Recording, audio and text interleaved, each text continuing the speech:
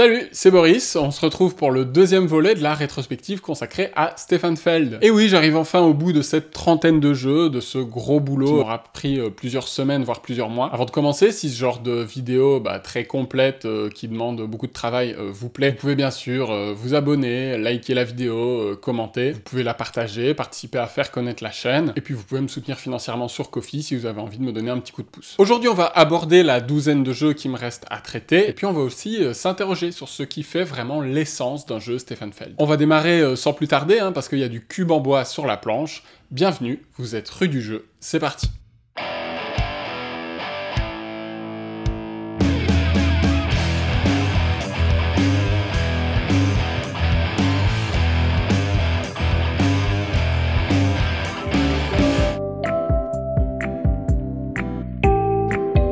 On attaque 2014 de façon un poil morose puisque le premier jeu de cette vidéo est un des rares Stefan Feld que j'aime pas.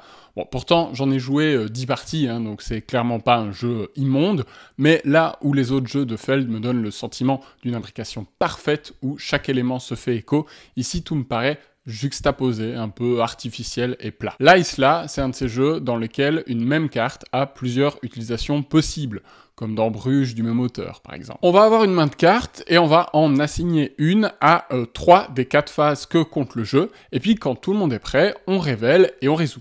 Phase A, la carte que vous avez sélectionnée compte pour sa moitié supérieure et vous donne une capacité spéciale. Comme dans la Granja, vous ne pouvez en avoir que 3 à la fois, et vous devez sélectionner les pouvoirs qui vous intéressent. Phase B, vous prenez les ressources représentées dans le coin inférieur gauche de la carte. Phase C, pas de carte, vous placez un explorateur sur le plateau en payant des ressources. Une fois que vous avez entouré un spécimen, vous le capturez et vous marquez des points. Et enfin, en phase D, vous montez sur la piste qui correspond à l'animal indiqué sur la carte que vous avez sélectionnée et vous marquez autant de points de victoire que d'animaux de ce type que vous possédez. À la fin du jeu, de façon très classique, vous scorez pour les 7 d'animaux différents et vous avez un multiplicateur de score pour chaque type d'animaux en fonction de votre avancée sur les pistes. J'ai du mal à expliquer, franchement, ce qui fait que la magie opère pour moi dans la plupart des jeux de Feld et pas dans celui-ci je trouve déjà que le jeu manque cruellement de tension. Même s'il y a une course sur le plateau central pour récupérer les animaux, moi je me sens jamais vraiment floué par les coups de mes adversaires, ni en stress qu'on me vole ma tuile ou quoi que ce soit, je m'en fiche un peu en fait. Je trouve aussi les capacités spéciales peu satisfaisantes, notamment parce que le jeu n'a pas beaucoup de contraintes. Contrairement à de nombreux autres jeux de Feld, il n'y a pas de catastrophe à éviter, il n'y a pas de moyen de perdre des points de victoire, et on se retrouve à sélectionner une carte sans pression, à opérer des choix assez évident et linéaire. Voilà, il me manque une ressource jaune pour me placer à côté de cet animal que je suis en train d'entourer. Bon bah je la prends. Euh, si je l'ai pas, ah, bah pas de chance, j'en prends une autre pour plus tard. Les décisions, elles me paraissent vraiment pas cruciales.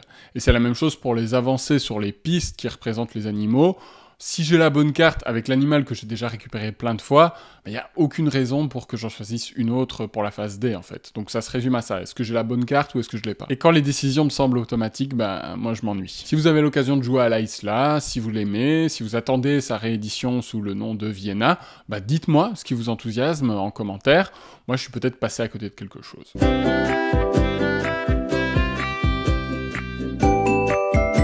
On continue avec le deuxième jeu de 2014 et décidément c'est pas un bon millésime pour Feld me concernant puisqu'il s'agit d'un autre jeu dont j'ai fini par me lasser après 12 parties, Aquasphere.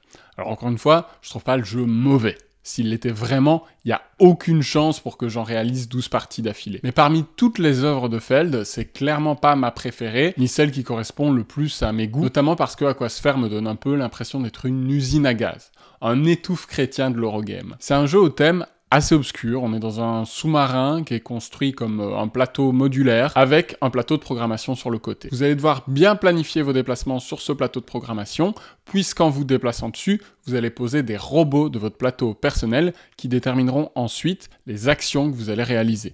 Quand votre tour revient, vous pouvez à nouveau avancer sur ce plateau pour programmer un nouveau robot. Vous pouvez en avoir jusqu'à deux en même temps ou vous pouvez déclencher l'activation d'un de ces robots pour entreprendre l'action correspondante. Ça signifie que la gestion du timing est assez fine. Bien sûr, vous pouvez de façon basique programmer une action puis la résoudre dès le tour suivant, mais vous pouvez aussi temporiser, vous arranger pour couper l'herbe sous le pied à vos adversaires, Le problème, c'est que tous ces paramètres, ils rendent la réflexion assez lourde et ils demandent de vraiment lire la séquence de vos adversaires pour planifier la vôtre. Et ça, ça peut être casse-tête. Lorsque vous réalisez une action quelque part, vous allez placer votre robot au centre du secteur, chassant ainsi celui qui était là précédemment pour le placer dans une zone de chargement. Et quand cette zone de chargement est remplie, hop, tous les robots retournent chez leur propriétaire. Ce qui est pénible car vous essayez de vider votre plateau personnel pour obtenir des bonus. Là aussi, ça peut être assez lourd dans ce ressenti, avec l'impression d'avancer, puis de reculer, de stagner un peu parfois. Et puis il y a pas mal de petites pièces qui bougent dans tous les sens. Le plateau est assez chargé. Pour le reste, c'est vraiment du classique. On améliore son plateau personnel, on capture des bestioles qui nous font scorer des points et qui nous en font perdre si elles sont toujours là en fin de manche. On récupère des ressources. Il y a une action par couleur. C'est un petit peu du déjà vu pour moi. Il y a la monnaie du jeu, les marqueurs temps, qui proposent une gestion assez intéressante, mais de mon côté, ça a clairement pas été euh, suffisant pour qu'Aquasphere reste dans ma collection sur le long terme. Je le trouve un peu balourd, il manque d'élégance pour moi. J'ai le sentiment que les systèmes s'y imbriquent moins bien que dans d'autres euh, des jeux de Feld. Mais je sais qu'il a ses fans, et encore une fois, c'est pas un mauvais jeu, donc n'hésitez pas à l'essayer si ça vous tente. Moi, il m'a laissé cette impression de tout ça pour ça au bout de ma douzaine de parties. Feld fait l'impasse sur 2015 et revient en 2016 avec l'Oracle de Delphes, un jeu avec lequel j'entretiens un rapport très particulier. En fait, je l'ai acheté euh, à Essen, à sa sortie en VO. J'en ai fait à l'époque 4 euh, ou 5 parties avant de le revendre. Et puis, je l'ai redécouvert des années plus tard grâce à un ami parisien avec lequel j'ai joué en ligne sur la plateforme Yukata, qui est une sorte de board game arena en moins ergonomique et en plus austère. Mais bon, le catalogue de jeux est différent, donc euh, des fois, je vais y faire un tour. Et là, l'illumination, en fait, j'adore ce jeu. C'est un jeu à la fois très feldien et pas du tout. Déjà, c'est un jeu de course. Vous partez avec votre bateau du centre de la carte et vous devez être le premier à accomplir 12 tâches, 3 de chacune des 4 catégories. Il faut livrer des cubes de couleurs, il faut livrer des statues aux bons endroits, donc on est dans du pick-up and delivery à Amsterdam, il faut vaincre des monstres avec des combats à coups de dés à 10 faces, il faut retourner les tuiles qui correspondent à notre couleur pour y installer des temples, et à chaque fois qu'on accomplit une de ces tâches, on va obtenir un bonus, par exemple des équipements, des acolytes qui nous offrent une capacité spéciale, ou encore des jetons offrandes qui permettent de changer la couleur de nos dés. Car oui, il s'agit d'une mécanique façon château de Bourgogne, sauf qu'à la place d'avoir euh, des dés de 1 à 6 faces, on a des couleurs. Et toutes vos actions, ou presque, vont être tributaires de la couleur des faces de vos dés, d'où l'importance de payer pour les changer si elles ne vous conviennent pas. Vous pouvez aussi échanger votre dés contre une carte qui représente une couleur. Avec un peu de chance, vous en obtiendrez une qui vous arrange mieux, mais vous ne pourrez dépenser qu'une seule de ces cartes par tour. Les actions, elles sont classiques. Hein. On se déplace sur une case qui représente la couleur de notre dé, on ramasse ou livre un cube qui correspond à la couleur de notre dé, on attaque un monstre qui correspond à la couleur de notre dé. Bref, vous avez compris la chanson. On peut aussi faire progresser sur notre plateau des petits jetons dieux, soit en dépensant nos dés, soit quand le lancer d'un adversaire correspond à la couleur d'un dieu qu'on a déjà avancé au moins une fois. Ces dieux, il y en a un par couleur, et ils nous donnent un pouvoir spécial quand ils sont arrivés tout en haut de l'Olympe, à déclencher une seule fois. Par exemple, Arès va nous permettre d'éliminer un monstre en un coup, donc sans avoir besoin de lancer le dé, ou Aphrodite va nous débarrasser de toutes nos blessures. C'est important car on s'en ramasse à chaque tour, et si on se retrouve avec 6 blessures ou 3 blessures de même couleur, on les défausse et on passe notre tour. Ce qui est un peu embêtant dans un jeu de course. Et c'est ça vraiment l'aspect rafraîchissant du jeu, c'est un pur jeu de course, et plus que jamais, le jeu vous donne plein d'options pour avoir les phases de dés qui vous arrangent, mais ça va vous prendre du temps, des actions. Et pendant ce temps-là, les adversaires, ils tracent leur route. Donc là, il n'y a aucune salade de points. C'est le premier à finir qui a gagné. Il y a évidemment un système de départage très bien ficelé si on est plusieurs à clôturer dans le même tour. Je trouve ce jeu merveilleux, très addictif. C'est un des jeux de Feld où l'analyse de la mise en place est la plus cruciale avec cet aspect de planification des déplacements beaucoup plus prononcé que dans Amsterdam parce que là, ça représente vraiment le cœur du jeu. On fait que ça en fait, se déplacer pour faire des trucs. Ça marche à deux, ça marche aussi à quatre si tout le monde sait ce qu'il fait, parce qu'on lance nos dés à la fin de nos tours, donc c'est très facile de planifier ce qu'on va faire. Le jeu peut être très fluide quand on le connaît. Maintenant, il a aussi quelques défauts. Petit 1, la différence de niveau. Clairement, si vous maîtrisez le jeu, vous allez éclater quelqu'un qui découvre parce qu'il va moins bien planifier que vous. Ou alors, il va rentrer en analysis paralysis euh, pendant deux heures, alors que vous, votre tracé est défini depuis 10 minutes, bah ça c'est pénible aussi.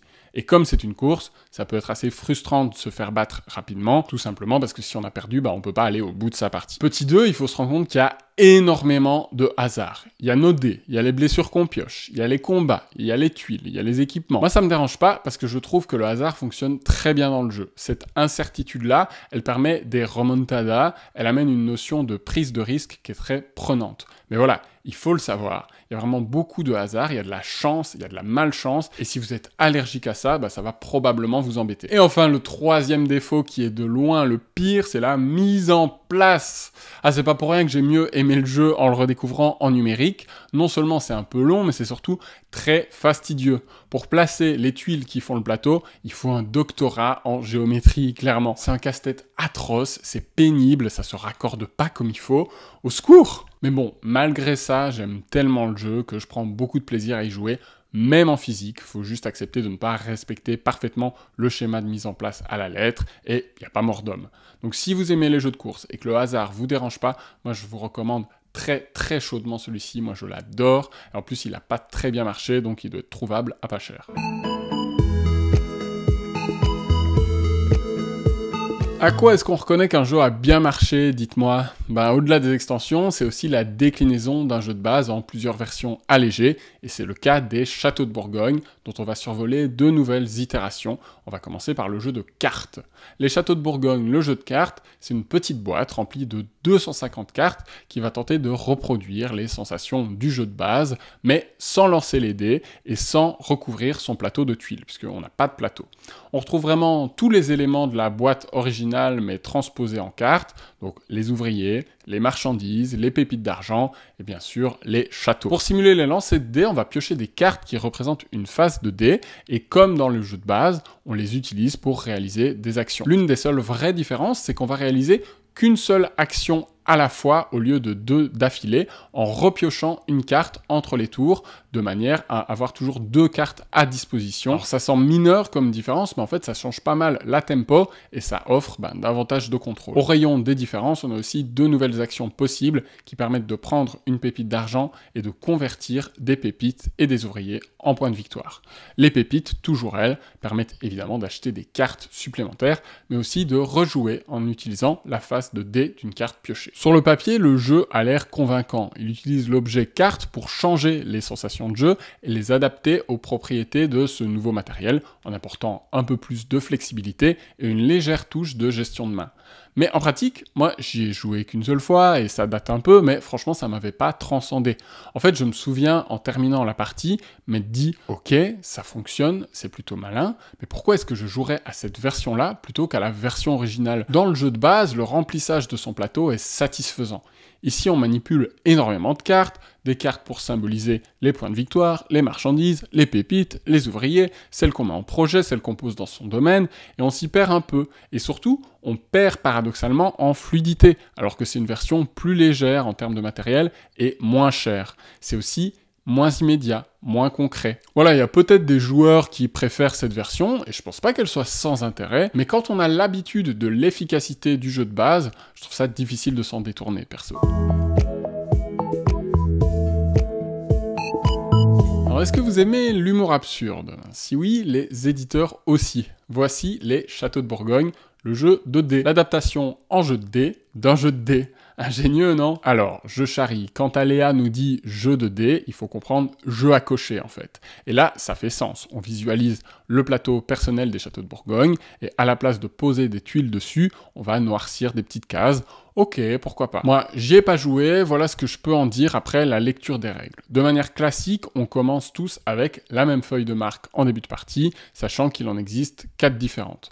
Comme d'hab, un joueur lance les dés et on les utilise tous en même temps en associant une face de couleur avec un nombre, le 4 avec le bleu par exemple. On retrouve les bâtiments connus du jeu de base comme euh, les mines d'argent ou les bateaux et ces bâtiments il faut leur associer des combinaisons précises. Par exemple pour cocher une mine il vous faut un 3 ou un 4 de couleur grise. Le jeu est ici bien plus minimaliste évidemment donc par exemple là où la version carte reproduit les effets des bâtiments du jeu de base, les zones de bâtiments du jeu de dés demande juste d'inscrire des valeurs différentes, sans obtenir des effets spéciaux. Les châteaux, ils permettent pas de rejouer, mais juste d'obtenir un petit bonus. Et en plus des ouvriers, on a des moines qui permettent de changer la couleur d'un dé. Le jeu, il est aussi beaucoup plus court, il dure qu'une petite demi-heure euh, maximum. en fonction du nombre de sabliers qu'affichent les lancers de dés. Et comme dans le jeu de base, plus on finit tôt des zones dans la partie, plus on score, et on garde aussi la petite course qui est liée aux objectifs de finition d'une couleur, qui semble être le réel espace d'interaction du jeu, en fait, bah, comme souvent avec les roll and write, bah, c'est pas le point fort. Vu d'ici, le jeu il me semble pas renversant, et en même temps la proposition euh, me paraît plus singulière que la version carte, qui essayait vraiment d'émuler le jeu de base, sans pour autant réinventer complètement son système. Cette version D, elle me semble aussi assez moderne, avec ses petits bonus euh, dans tous les sens, surtout quand on pense qu'elle est sortie avant euh, des jeux comme Tréfuté, par exemple. Donnez-moi votre avis si vous y avez joué. Moi, je me demande surtout ce qu'ils vont sortir après euh, les châteaux de Bourgogne, le jeu de figurines peut-être, ou sinon le jeu de rôle. Comme ça, on profite du thème qui est bien fort.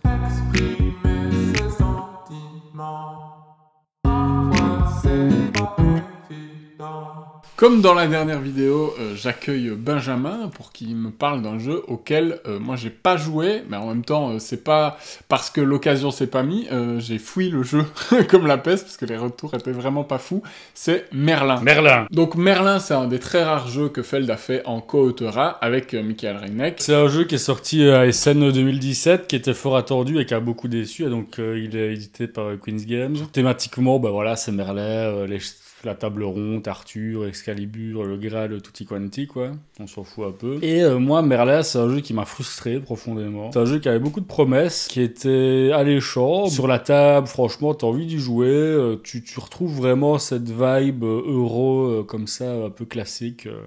Enfin, moi, ça m'attirait pas mal. Et il y a plein de bonnes idées dans le jeu. Il y a de la majorité, un peu partout. Il y a différents scoring ça a fait, donc encore une fois, ça a deux points. Et c'est la mécanique vraiment principale du jeu où le bas blesse selon, euh, selon les critiques, je, les rejoins. C'est qu'en réalité, vous allez tirer 3D euh, de votre couleur et un dé blanc, et vous allez avoir une rondelle d'action au centre du plateau. Et à votre tour, euh, vous dépensez un dé pour avancer sur cette rondelle d'autant de casse que la valeur du dé. Les dés, on retrouve ce truc de Feld, de on doit utiliser les dés, on doit s'adapter à notre tirage.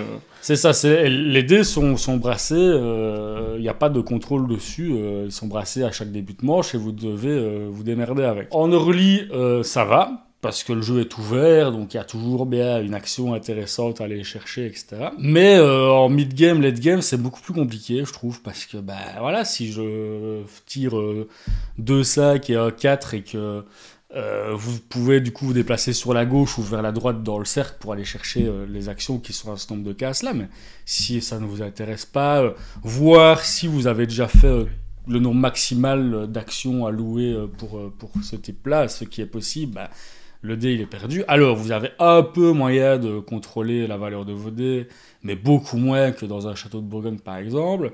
C'est quand même beaucoup plus compliqué. Ce qui est aussi euh, potentiellement frustrant, c'est l'utilisation du dé blanc, qui euh, vous sert à bouger Merlin. Merlin qui est un personnage qui se trouve aussi sur ce, cercle d'action, mais qui peut être bougé une fois par manche via le dé blanc par euh, tous les joueurs une fois donc. Et donc l'idée est intéressante parce que vous pouvez vous dire ah je vais attendre que ce joueur-là déplace Merlin pour me rapprocher de l'action qui m'intéresse, ou au contraire, vite, il faut que je joue euh, Merlin maintenant parce que sinon il va s'éloigner de l'action qui m'intéresse. Mais encore une fois, euh, ça, c'est des concours de circonstances qui dépendent pas vraiment de vous, vu que c'est des possibilités ouvertes par la valeur de votre dé. Donc si votre dé, euh, ça matche pas avec les possibilités tactiques et stratégiques que vous avez sur le moment, bah, c'est très très frustrant. Quoi.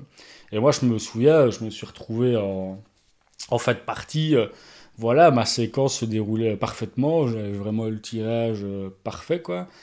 Et j'avais un camarade de jeu, c'était tout l'opposé. Euh, euh, les dés qu'il avait ne lui offraient que des actions qui, qui, étaient complètement inintéressantes pour lui. Et je trouve ça très dommage parce que une fois que ce constat est fait, le jeu regorge quand même d'idées quand même assez plaisantes. C'est ça, c'est la mécanique centrale en fait qui pêche et qui qui, est pas assez, euh, qui permet pas assez d'adaptation euh, pour qu'on puisse euh, se dire ok j'ai pas le bon tirage mais je vais pouvoir m'en sortir comme ça comme bah, ça. Après voilà vu que cette partie là autour de la table n'a pas, euh, n'a pas été apprécié. Euh, voilà, moi je crois que j'ai joué qu'une seule fois, euh, peut-être avec plus d'expérience. Il y a peut-être moyen d'aller chercher plus de pommes. Les pommes, c'est ce qui vous permet de changer la valeur de vos dés. Mais il y a aussi des extensions, pour le coup, qu'on n'a pas essayé. En commentaire, dites-nous hein, s'il y en a qui ont essayé des extensions. Je crois même qu'il y a même une big box, etc. Donc peut-être que ça vient corriger ces aspects-là là, qui sont négatifs. Mais bon, entre-temps, encore une fois, il y a tellement de jeux sur le marché, il y a même tellement bon de jeux de Feld que euh, ici on n'a pas vu l'intérêt de, creuser euh, l'expérience outre mesure. Ce qui est dommage parce qu'encore une fois, le jeu avait euh, des atouts à contester. Après, pour en finir, si vous prenez le jeu de manière plus détendue, plus familiale, voilà, ça peut rester un chouette moment.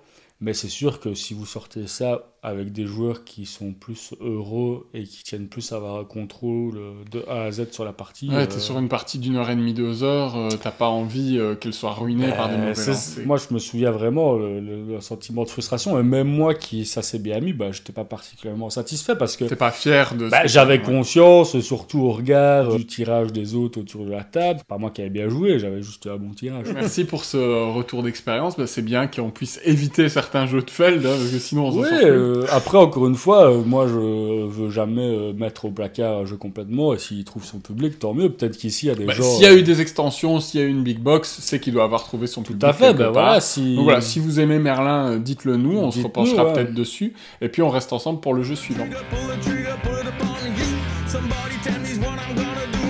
2018, de nouveau deux jeux pour Feld. Un euh, auquel j'ai euh, vraiment pas mal joué, Forum Trajanum, toi tu as joué qu'une seule fois. Celui dont on va discuter ensemble, c'est de Carpe Diem, qu'on a beaucoup pratiqué euh, tous les deux. C'est un jeu de remplissage de plateaux personnels. On va récupérer des tuiles, un peu comme au château de Bourgogne, pour construire son plateau petit à petit. Mais la comparaison s'arrête là, parce que pas de dés ici, il y a une mécanique de déplacement. Donc à votre tour, vous allez déplacer votre petit meeple à gauche ou à droite. À chaque fois, vous aurez deux choix vers où aller. Vous pouvez, si vous voulez, vous sortir de cette boucle payer un pain pour vous déplacer n'importe où et du coup casser la routine que le jeu a prévu pour vous, que le mhm. tirage a mis en place et du coup créer la surprise euh, chez l'adversaire. Ces bâtiments, ils vont avoir euh, différents effets. On va avoir euh, des champs qui vont nous procurer des ressources. On peut avoir des pièces qui sont des ressources joker.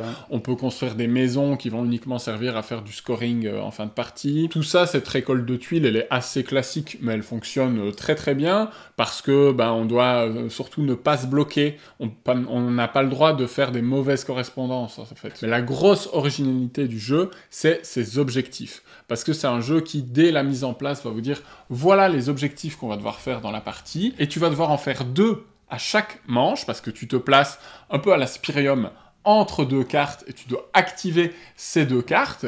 Et s'il y en a une des deux que tu n'actives pas, tu vas perdre des points de victoire. Donc euh, il faut bien euh, anticiper là où tu vas te placer, quels sont les deux objectifs que tu vas réaliser. Et là, l'ordre du tour est crucial puisque euh, si tu es premier dans l'ordre du tour, tu vas te placer avant ton adversaire et potentiellement aller à un endroit qui toi te fait un petit peu moins de points, mais qui lui fait qu'il peut pas se placer ailleurs et que ça va être la catastrophe pour lui. Tu, peux vraiment contrer les plans de, de l'adversaire cette histoire de contrat ou prendre des risques, disant ah, ce contrat-là, je pourrais le faire cette manche mais je vais plutôt euh, attendre la manche suivante parce qu'il sera plus lucratif. Et on peut faire plusieurs fois un contrat dans la partie, puisque autour d'une carte, il y a, jusque 4 remplaçants. Ça. Donc euh, c'est ça qui est intéressant. Comme le jeu compte 4 manches, bah, mhm. techniquement, ce serait possible de, de, spammer, de spammer un même contrat. Il faudrait que l'autre joueur ou les autres joueurs... Euh, Soient un peu nuls, ouais. techniquement, c'est possible. C'est vraiment cette originalité-là, parce que c'est là, on retrouve cette patte de Feld de tu peux perdre des points, et ça peut être très punitif si tu remplis pas certains objectifs. Mais d'une autre manière, tu peux dire, ok, je vais, je vais temporiser. C'est de mon chi.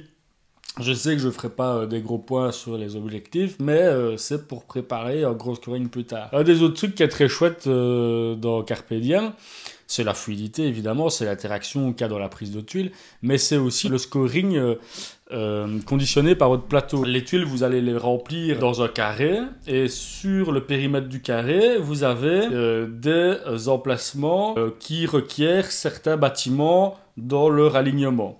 Et si vous les remplissez cette condition, c'est un scoring supplémentaire. Vous êtes toujours partagé, oh, ok, cette tuile-là, ce développement-là, il est bien, je vais, rapidement avoir les ressources que je veux, etc.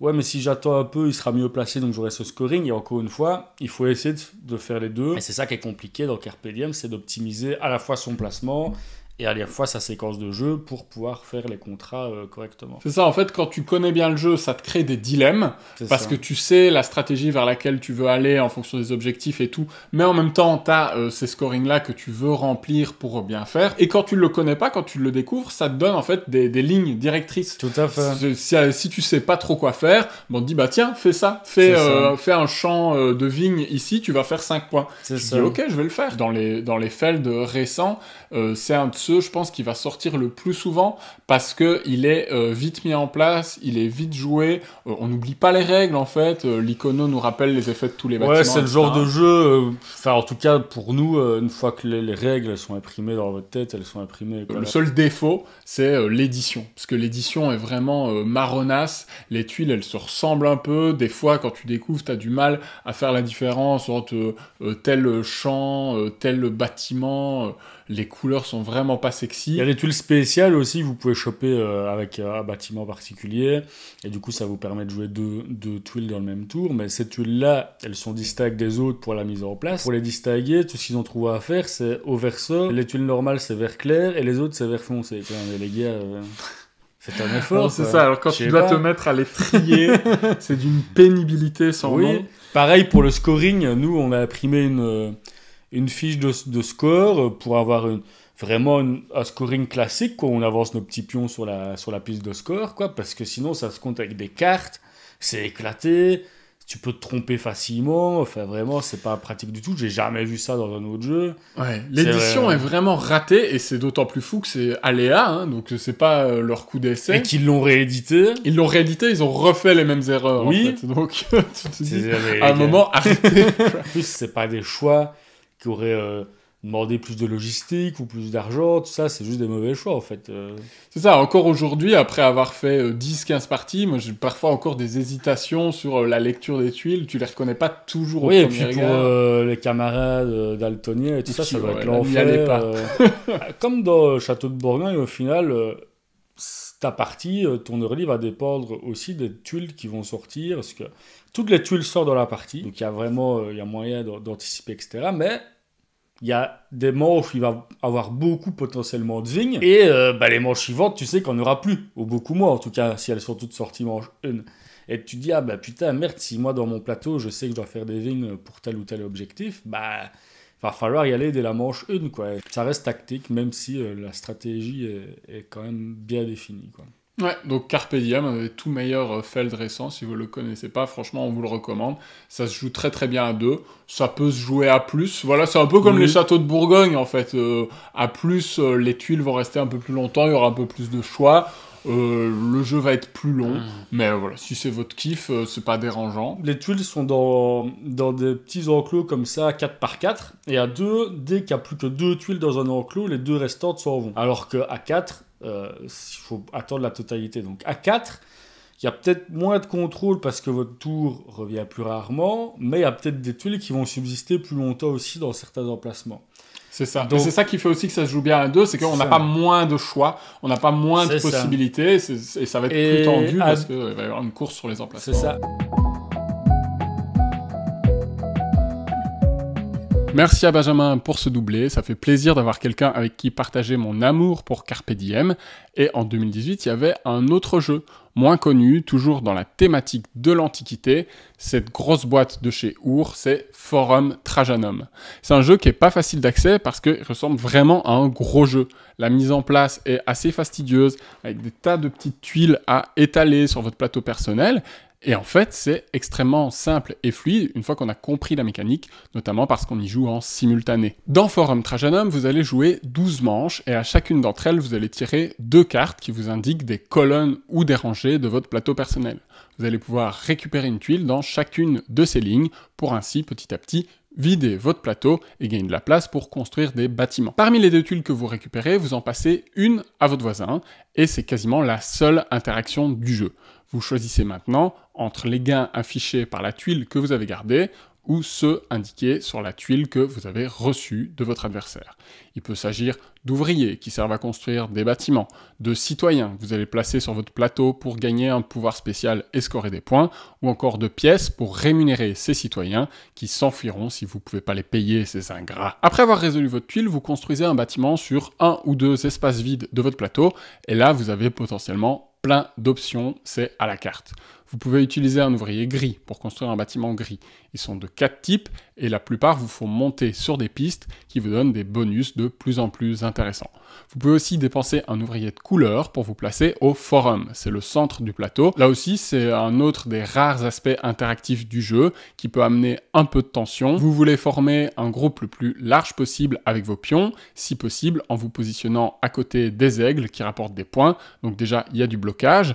Et en plus, quand quelqu'un a commencé à remplir une zone de couleur au forum, si vous continuez dans cette couleur, vous devez poursuivre la même zone. Mon adversaire a posé des pions sur le jaune, bah, si je construis un bâtiment jaune, je me place sur du jaune aussi, là où il l'a défini préalablement. Et c'est aussi celui qui termine la zone, qui pose le dernier pion dans l'ensemble, qui gagne un bonus, même s'il avait rien posé d'autre pour remplir auparavant. Donc attention au timing de placement. Franchement, Forum Trajanum, c'est un jeu qui est assez particulier, parce qu'il est à la fois très simple dans son exécution, je passe une tuile, j'en choisis une que j'utilise, je construis un bâtiment au suivant, et en même temps, il est très lourd sur d'autres aspects. Je pense notamment au scoring de fin de manche qui demande de planifier euh, pendant 4 tours et qui comporte beaucoup d'étapes assez lourdes successives. il y a des doubles objectifs sur des cartes. Vos citoyens vous rapportent des points s'ils sont alignés avec des bâtiments gris de types différents. Si vous avez découvert des tuiles grues de couleurs, vous allez scorer pour les bâtiments de cette couleur que vous avez construit. Vraiment, il y a beaucoup de choses. Le jeu est très dense, en particulier la façon de gagner des points. Néanmoins, c'est pas vraiment un défaut parce que je trouve que tous ces éléments s'imbriquent très bien et comme on ne peut pas tout faire, il faut voir ces multiples étapes comme autant d'axes stratégiques à emprunter et pas comme des contraintes qui vous forceraient à tout faire. Comme dans Bora Bora par exemple, bah, dans Forum Trajanum, on ne peut pas perdre de points et il y a plein de choses à faire. Donc on s'amuse même si on est moins bon que notre adversaire et dans tous les cas, ça peut pas être catastrophique. C'est un très bon Feld, euh, un peu méconnu, toujours très facile à sortir, mais vraiment euh, riche et assez original dans son feeling, je vous le recommande. Un seul jeu en 2019, assez peu connu qui plus est, et pourtant il s'agit peut-être du jeu le plus thématique de Stefan Feld, c'est Revolution of 1828, un jeu à deux joueurs autour de l'élection présidentielle américaine qui opposa John Quincy Adams à Andrew Jackson. J'ai pas du tout été voir sur Wikipédia, pourquoi vous pensez ça? C'est un jeu d'affrontement assez simple qui va schématiser deux campagnes électorales et la lutte pour rallier des partisans à notre cause. À notre tour, on récupère une des tuiles d'électorat présentes dans notre zone du plateau. Il y en a trois dans chaque zone en début de manche. Parmi les tuiles, on trouve des délégués qui sont liés à certaines couleurs, d'autres qui sont jokers et aussi des actions à usage unique qui déclenchent des petits effets soit immédiats, soit à la fin de la manche. Certaines ont des effets positifs, comme voler un délégué à votre adversaire, et d'autres sont moins intéressants. Par exemple, il y a une tuile qui vous oblige à céder un soutien à votre adversaire. Mais le jeu a une dynamique qui vous incite à tout de même récupérer des tuiles qui vous intéressent moins, parce que si vous récupérez la dernière tuile d'une zone, non seulement vous prenez en plus l'électorat, qui est représenté par un meeple qui correspond à la couleur de la zone en question, et vous le mettez de côté, c'est un soutien de votre poche, mais en plus, quand vous terminez une zone, vous rejouez immédiatement, ce qui peut potentiellement créer de grosses réactions en chaîne avec plusieurs tours supplémentaires d'affilée. Quand il n'y a plus de tuiles à récupérer sur le plateau, bah, on compte les voix. Celui qui a utilisé le plus de tuiles action a un bonus de 3 voix, et puis on regarde les 6 zones. Pour chacune, celui qui a le plus de soutien gagne une voix voire deux si son adversaire n'est pas présent du tout. Et enfin, si vous avez récupéré l'électorat d'une couleur, vous gagnez aussi une voix par délégué que vous possédez dans cette couleur. Bon, l'originalité, elle s'arrête là. Ces voix, c'est juste des points de victoire. Il n'y a pas de tir à la corde, il n'y a pas de multiples chemins pour gagner la partie comme dans un Watergate par exemple, mais il faut reconnaître que ce petit jeu à deux se distingue des autres jeux de Feld par son épure. Les règles, elles tiennent en 6 pages, le tour de jeu est ultra simple, oublier la salade de points et les bonus dans tous les sens. Et l'autre point notable, bah, c'est évidemment le thème rendez-vous compte, il y a une section historique dans le livret de règles. Dans un jeu de Feld, franchement, c'était du jamais vu. Moi, j'ai pas joué au jeu, à ma connaissance, il a pas été traduit, il est pas super bien noté euh, sur Board Game Geek, mais rien que son existence permet de nuancer les propos des détracteurs de Feld qui considèrent que tous ces jeux se ressemblent, qui sont tous boursouflés avec des effets dans tous les sens. Bah non, il est aussi capable de faire des jeux simples. C'est peut-être pas là où il excelle, mais il essaye. Comme d'habitude, si vous avez joué à Revolution of 1828, euh, bah dites-le moi dans les commentaires. Et maintenant, on attaque 2020. Attention, en 2020, trois jeux pour Feld. On commence avec une œuvre qui m'a toujours intrigué, mais sur laquelle j'avais jamais pris le temps de me pencher avant de préparer cette vidéo. C'est les châteaux de Toscane. Alors comment appeler ça? Est-ce que c'est une variante? Est-ce que c'est un spin-off des châteaux de Bourgogne? Est-ce que c'est le même jeu? Et qu'est-ce qu'il apporte une chose est sûre, par rapport à son grand frère, on n'entend pas souvent parler de lui hein, quand même. Alors moi, j'ai enquêté, enfin, j'ai lu les règles, quoi. la première différence notoire, c'est que dans les châteaux de Toscane, vous n'allez pas avoir un plateau fixe, mais un assemblage de trois morceaux différents pour vous créer votre propre plateau personnel modulaire à remplir avec des tuiles de couleur. Hein. Ça, ça change pas. Il y a une autre grande différence qui est encore plus importante, c'est qu'on joue pas avec des dés, mais avec des cartes. Une des trois actions que vous pouvez réaliser à votre tour consiste à récupérer trois cartes de la pioche pour les mettre dans votre main. Et comme dans Bourgogne, on peut aussi récupérer une tuile du centre de la table dans l'optique de la poser ensuite sur son plateau. Quand on fait ça, on remplace cette pile par une tuile de notre pile personnelle, et quand on vide cette pile personnelle, ça déclenche la fin de manche. On peut donc précipiter ou retarder cette fin de manche en fonction de nos actions. Enfin, la troisième action possible, elle consiste évidemment à poser une tuile préalablement récupérée sur notre plateau, et là on doit payer deux cartes de la couleur correspondant à la tuile, en sachant qu'on peut toujours utiliser euh, deux cartes identiques comme un joker. Et c'est à peu près tout. Alors évidemment les tuiles ont des petits effets, hein, un petit peu moins variés que dans les châteaux de Bourgogne, avec euh, sa multitude de bâtiments. Dans les châteaux de Toscane, le château il permet de récupérer euh, n'importe quelle tuile, on peut gagner du marbre qui permet ensuite de rejouer, on peut récupérer des ouvriers qui changent la couleur de nos cartes. Est-ce que ça vous rappelle un truc? Des nouveautés, c'est la présence de tuiles amélioration qu'on récupère en posant une cité et qui vont donner un coup d'accélérateur à certaines de nos actions. Par exemple, piocher plus de cartes d'un coup quand on fait cette action-là. On se spécialise et on monte un petit peu en puissance. Alors encore une fois, comme dans Bourgogne, il y a une course sur chacune des couleurs de tuiles pour être le premier ou la première à remplir entièrement cette couleur sur son plateau. Bref, vous le percevez peut-être, à la lecture des règles, moi je suis pas emballé par ce jeu qui me semble avoir été pensé comme une version simplifiée des châteaux de Bourgogne, qui est déjà pas le jeu le plus compliqué du monde. Là, il y a non seulement moins d'actions, il y a moins d'effets et de pouvoirs spéciaux, et surtout il y a moins de possibilités d'adaptation. Car les dés dans Bourgogne, ils offrent pas mal de possibilités différentes. Hein. Un 3, il peut vous servir à prendre une tuile, à vendre une marchandise, ou encore à poser une tuile. Et si les cartes piochées, elles ont qu'une seule fonction, qu'une seule utilité, c'est les fossé pour poser des tuiles. Donc si on n'a pas la bonne couleur, je vois moins la façon de se réinventer, de s'adapter face au tirage. Détrompez-moi dans les commentaires si vous aimez euh, les châteaux de Toscane, hein. moi je suis pas contre l'essayer éventuellement, mais euh, j'en entends pas beaucoup parler de cette euh, seconde version, et j'ai l'impression qu'elle est un petit peu restée dans l'ombre de son aïeul, qui lui, pour le coup, incarne un véritable classique qui vient de revenir en version de luxe, donc c'est la preuve qu'il est increvable.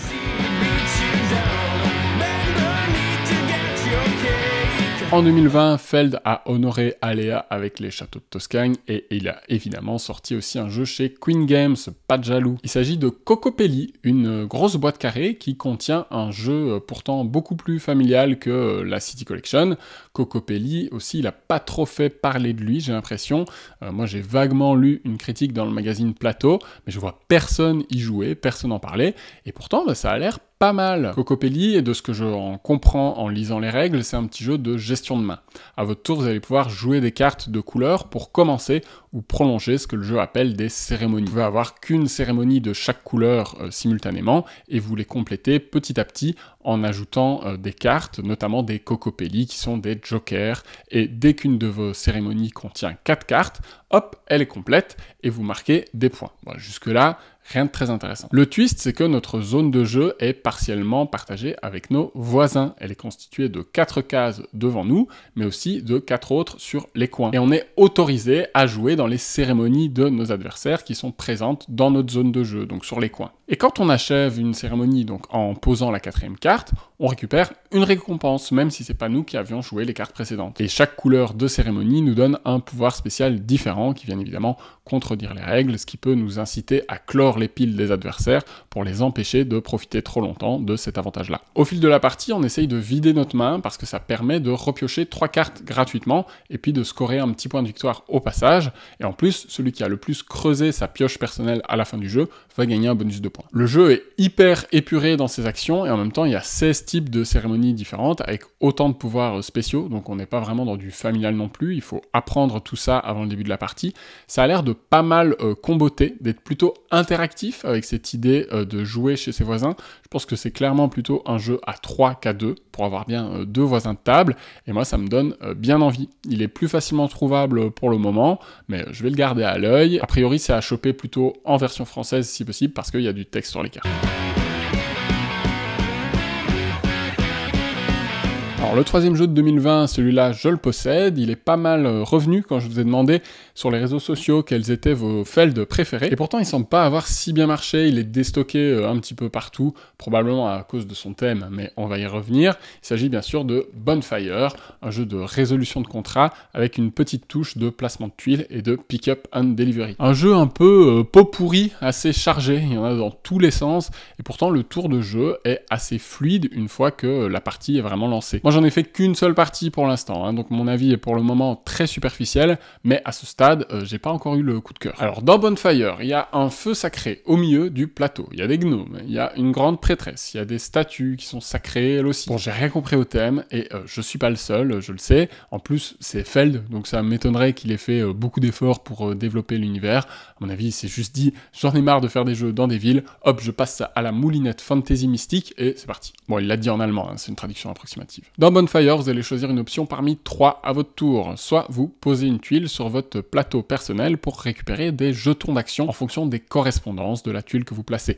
En gros, vous jouez au domino. Mais quand vous faites ça, bah, vous devez vous défausser auparavant de tous vos jetons d'action sauf un. Donc il faut bien vous assurer de les dépenser presque tous avant d'en récupérer de nouveaux. Du coup, deuxième option, vous dépensez des jetons d'action d'une couleur pour réaliser l'action associée à cette couleur. Par exemple, les bleus vous font déplacer votre bateau, les rouges vous font récupérer des missions. Vous pouvez faire avancer des statuts sur votre plateau personnel, vous pouvez acheter des cartes qui vous donnent des pouvoirs ou du scoring, etc., etc. Et enfin, la troisième option, elle consiste à valider une de vos missions, euh, ce qui vous permet au passage de poser un de vos prêtres au centre du plateau et de déclencher un petit effet.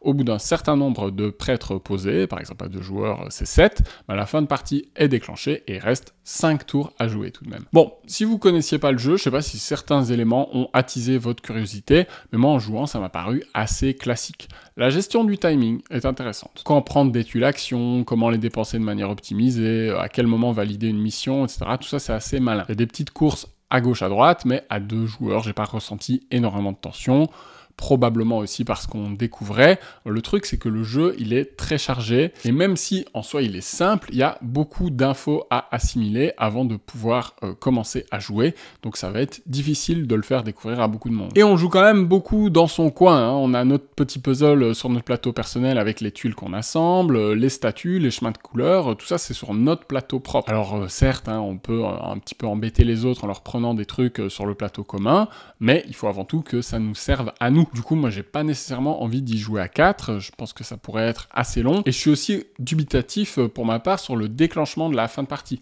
Si tu donnes un feeling de jeu de course à ton jeu en disant bah, ça se finit quand il y a 7 prêtres et euh, qui va pouvoir déclencher le plus de missions dans cet intervalle-là, si tu donnes ce feeling-là de pression, c'est pas pour laisser 5 derniers tours derrière à tout le monde. C'est interminable, 5 tours de jeu. Si on faisait ça dans l'oracle de Delphes, attention, j'ai fini mes missions, maintenant il te reste 5 tours à jouer, bah, le jeu serait nul. Donc voilà, mon ressenti concernant Bonfire, il est mitigé pour l'instant, même si j'y rejouerai pour creuser, hein, ça c'est sûr. Et il y a aussi une extension que j'ai évidemment euh, pas encore essayé, donc si vous aimez ce jeu, bah, expliquez-moi ce qui vous plaît, ça m'intéresse.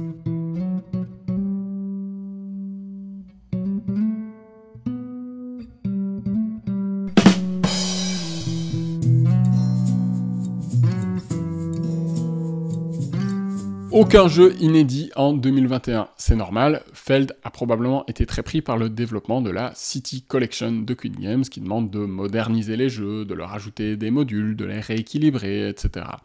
Et en 2022 arrive le premier jeu inédit de cette City Collection, une grosse boîte qui a fait énormément parler d'elle, autant pour son prix que pour ses qualités ludiques, c'est Marrakech, le Diamant d'Or 2022. Oui, moi j'ai pas l'essentiel édition, j'ai la grosse boîte, mais la version euh, classique, donc celle qui est entre les deux et qui est probablement la moins intéressante financièrement des trois, mais euh, c'est comme ça. Marrakech, c'est un petit peu le jeu de Feld ultime. Ça veut pas dire que c'est celui que je préfère, mais c'est le jeu somme qui pousse tous les potards au maximum sur ce qui a forgé l'identité de l'auteur. Les mini-jeux, les actions qui se renforcent au fil de la partie, la possibilité de perdre des points, les pouvoirs spéciaux.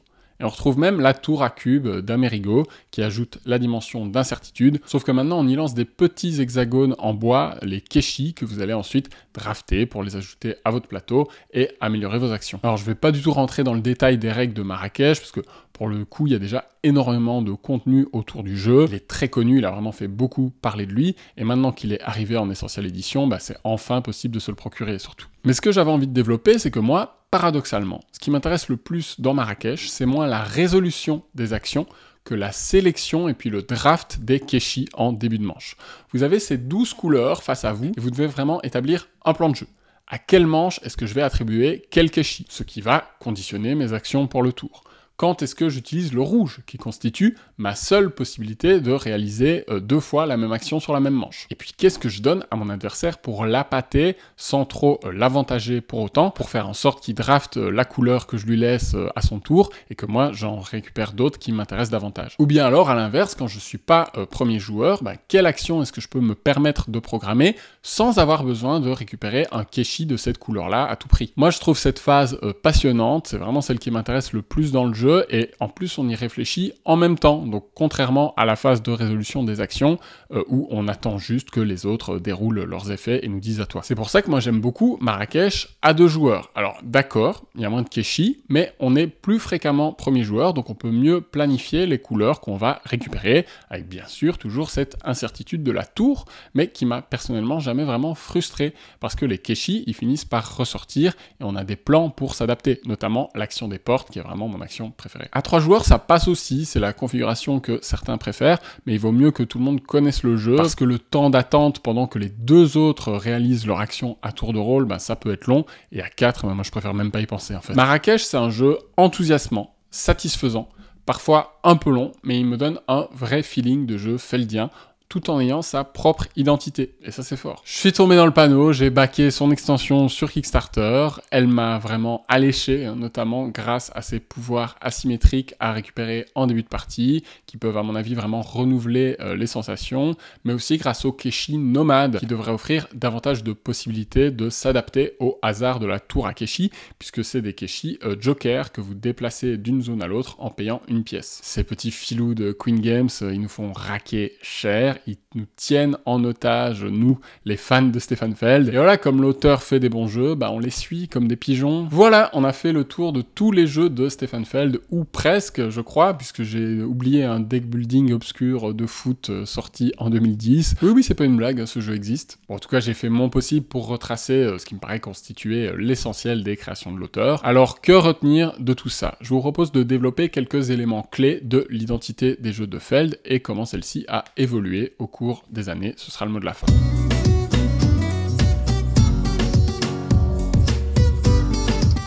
Les premiers jeux de Feld, ceux publiés euh, chez Alea, ou même dans une certaine mesure euh, Roma, qui est chez euh, Queen Games, c'est des jeux assez punitifs assez secs, dans lesquels l'erreur vous coûte très cher. Je pense notamment à Notre-Dame, dans lequel la peste peut vous frapper en boucle en fait, sans que vous ne parveniez à vous remettre en selle.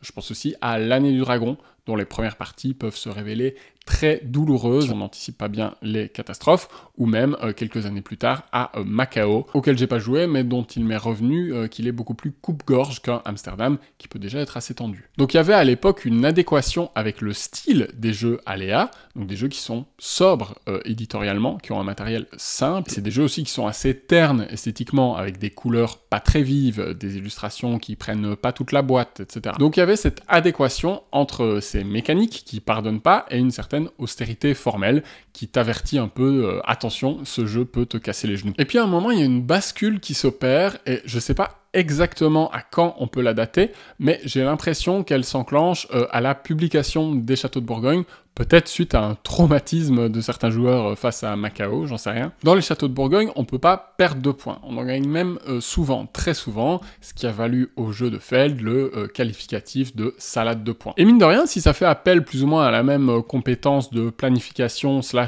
anticipation, donc planifier ses actions pour éviter de perdre des points de victoire ou les planifier pour optimiser au maximum ce gain de points de victoire, bah, les deux euh, phénomènes, ils procurent pas la même sensation du tout. D'une part, quand il y a les catastrophes, bah, on a l'impression de se battre euh, contre le jeu, et d'autre part, bah, quand on gagne euh, plein de fois des points de victoire, même si on perd à l'arrivée, on aura le ressenti certes d'avoir fait moins bien que nos adversaires à la fin de la partie, mais on aura aussi avancé, on aura accompli des choses. Un peu comme les jeux mobiles qui fonctionnent à la dopamine et qui nous fournissent régulièrement plein de petites micro-récompenses, bah c'est satisfaisant quoi. On est probablement euh, moins frustré, surtout en découverte quand on sait pas encore euh, ce qu'on fait. Bah voilà, on n'a pas euh, une grosse météorite qui nous arrive sur le coin de la tronche. La sortie des châteaux de Bourgogne, elle correspond aussi juste après le moment où Feld sort It Happens, donc ce qui est son jeu le plus familial. Donc on peut aussi probablement déceler une envie de créer des œuvres qui sont quand même plus grand public. On voit ça aussi dans Bora Bora par exemple. On score pas de points de victoire si on ne parvient pas à remplir un objectif,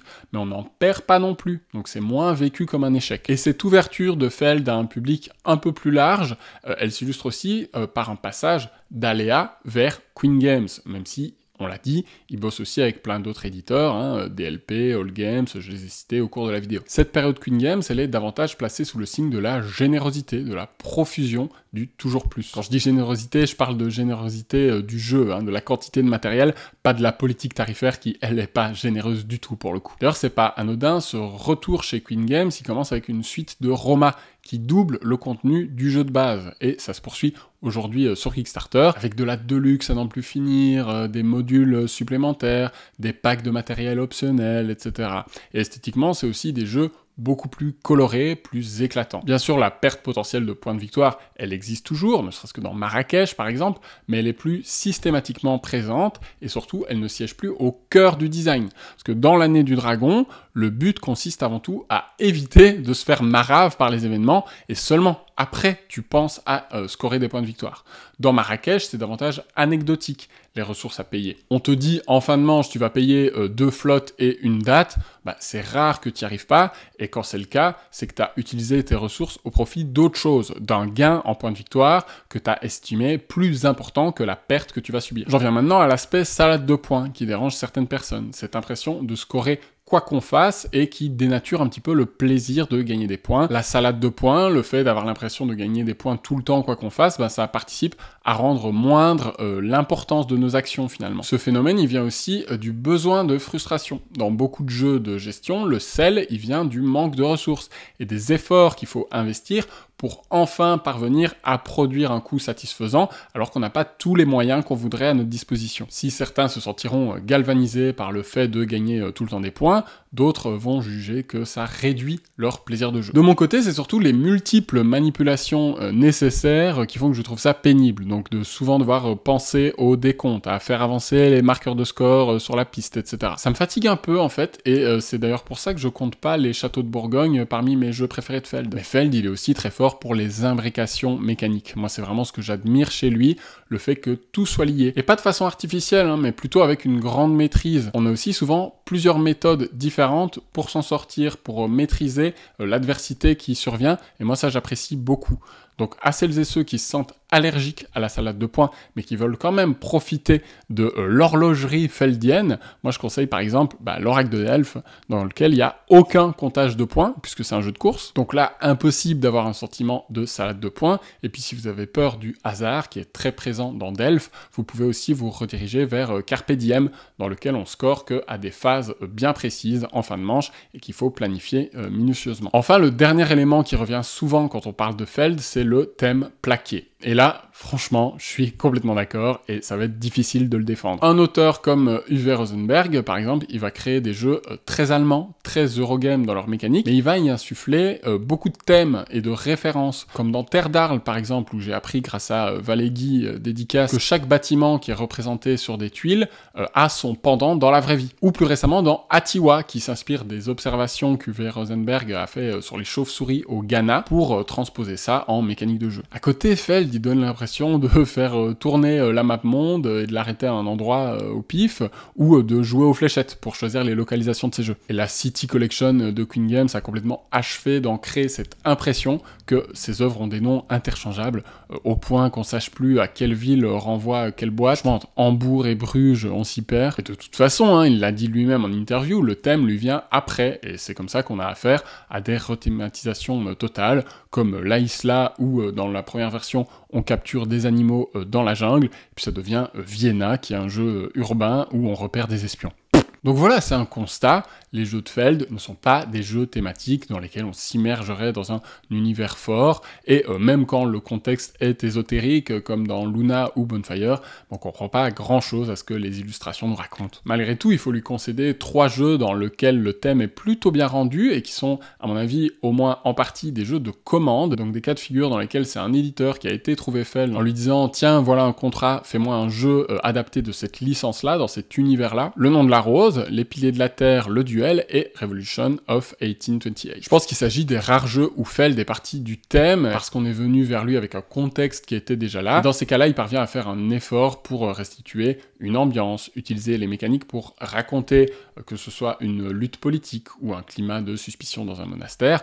Mais franchement, même dans ces cas-là, on n'est pas non plus dans un jeu euh, narratif, faut reconnaître que ça reste en surface. Au final, moi ce que je retiens des jeux de Feld, c'est donc la richesse de leur mécanique. L'impression qu'à partir des mêmes éléments, il arrive toujours à procurer des sensations de jeu nouvelles, des systèmes à la fois euh, complexes et accessibles auxquels j'ai envie de me confronter euh, encore et encore, parce qu'ils se renouvellent sans cesse en fait, tout simplement. Pour vous donner une idée, j'ai récemment enchaîné 5 parties de l'Oracle de Delphes en 10 jours sur Yukata avec le même ami, et je trouve qu'il y a vraiment quelque chose d'addictif dans la manière dont l'imbrication des mécaniques euh, fonctionne. Quels que soient tous les éléments sur lesquels euh, il y a la variabilité, bah, ça fonctionne euh, dans tous les cas, ça me procure à chaque fois un nouveau défi, et moi je trouve ça très très très très fort. Et tant pis si le thème est interchangeable, personnellement c'est de toute façon pas ce qui m'intéresse le plus dans un jeu de société, donc ça me convient. Et voilà, cette longue rétrospective en deux parties est maintenant terminée. Merci de l'avoir regardé, en particulier si vous l'avez suivi en entier et jusqu'au bout. Si vous avez trouvé ça intéressant, utile ou même divertissant